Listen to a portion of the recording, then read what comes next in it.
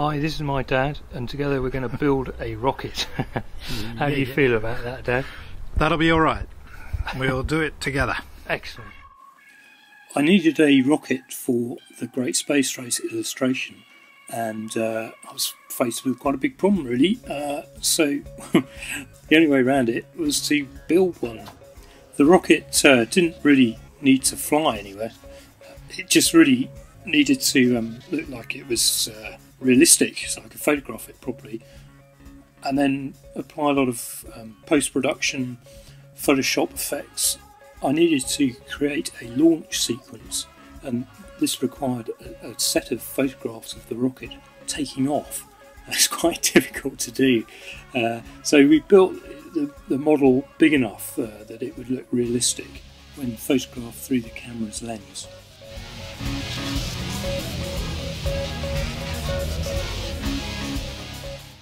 Uh, importing the rocket parts was a very slow process, um, and surprisingly, the uh, rocket parts got held up at Heathrow Customs for several uh, days. Um, and as you can imagine, uh, it's the sort of thing which um, government agencies get quite excited about when you're building this sort of thing in your garden.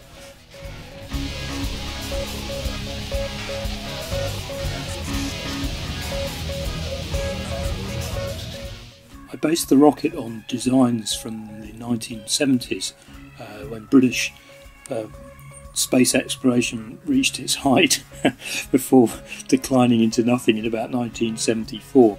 Uh, so the rocket needed to look like it had been in storage for at least 30 40 years, so it didn't need to look completely pristine. Uh, I certainly needed to apply rust and some dents, and uh, it was all good fun to do, really.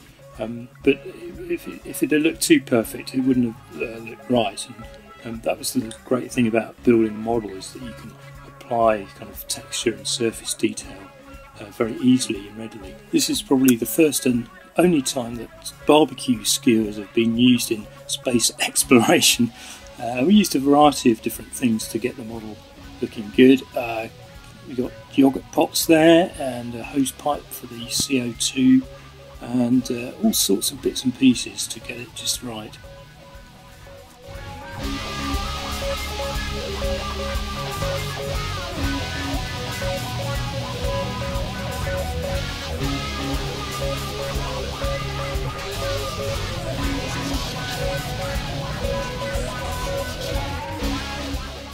Yeah, this is where we uh, began to worry whether we'd get a call from the police. uh, this is the uh, putting on the primer and the undercoat on the main body, and uh, just building it up very slowly, putting several layers, get a good, good thick coat on there.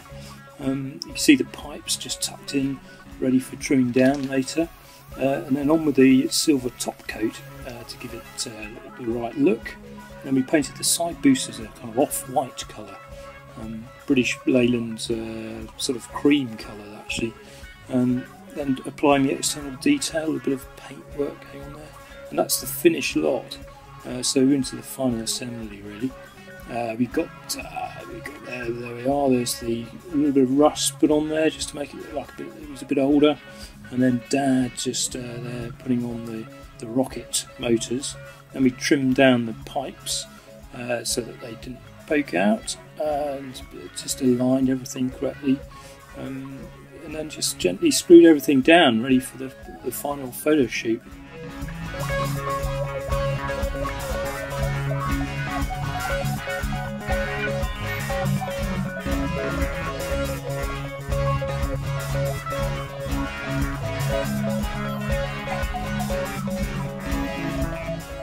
Okay, so we got to the point where we uh, could connect it all up and start shooting the uh, engines firing. And I was recording them with a very fast camera positioned at the top of the rocket there on the tripod, um, so I could capture all the smoke.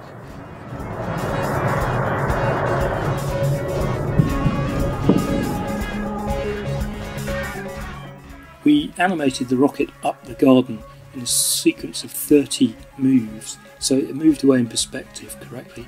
And then in Photoshop, I cut these out and applied all the special effects and put in a new background and put in the rocket engine and uh, enhanced the smoke that we'd photographed and generally made it all look very realistic, I hope. And that was the finished thing.